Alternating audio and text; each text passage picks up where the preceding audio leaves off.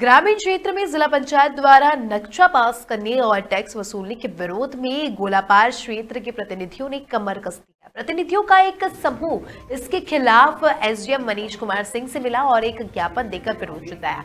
जनप्रतिनिधियों ने कहा कि गोलापार चौरगलिया क्षेत्र, जो कि ग्रामीण इलाका है, जिसमें जिला पंचायत और नक्शा पास करना है टैक्स वसूलने का हम सभी जनप्रतिनिधि और क्षेत्रवासी विरोध करते हैं।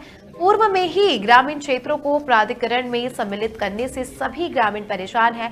जिला पंचायत द्वारा नक्शा पास कराने और टैक्स वसूलने जैसे नियमों को लागू करना जो है गोलापार चौरगलिया क्षेत्रवासी और जन प्रतिनिधि मिलकर इसका आग्रह करते हैं कि इसे निरस्त किया जाए। अगर इस नए नियम को लागू किया गया तो समस्त क्षेत्रवासी और जन, जनता निधि सड़कें जो है उतरने को बाध्य होगी आंदोलन पर और सड़कों पर जो है उतरने को बाध्य होगी। हल्द्वानी से दीपक अधिकारी की रिपोर्ट।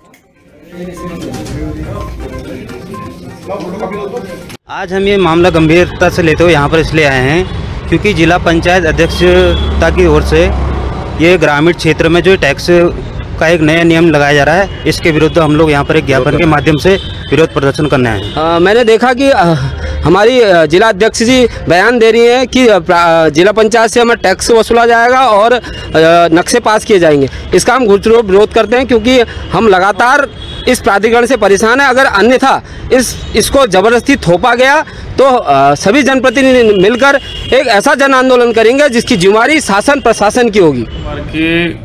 कतिपय व्यक्ति और उनके संगठन के माध्यम से उनके द्वारा ज्ञापन दिया गया है कि समाचार पत्रों में ये खबर प्रकाशित हुई है कि अब ग्रामीण क्षेत्रों में जिला पंचायत द्वारा नक्शे पास किए जाएँगे। इसके विरोध में उनके द्वारा एक ज्ञापन दिया गया है, जो कि उचित माध्यम से संबंधित को प्रेषित कर दिया जाएगा।